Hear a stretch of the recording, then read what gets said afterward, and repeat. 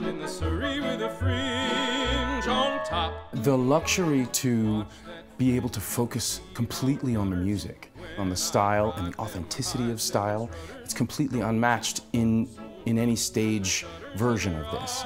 Anytime you're on stage and having to worry about the costumes and having to worry about the wig falling off or the hat or the boots or the whatever takes away from the ability that we have in this room just to completely devote ourselves to the notes on the score and, and the style that is so specific to this piece. When I take you out in the Surrey, when I take you out in the Surrey with the fringe on top, when we hit that road, hell for leather, cats and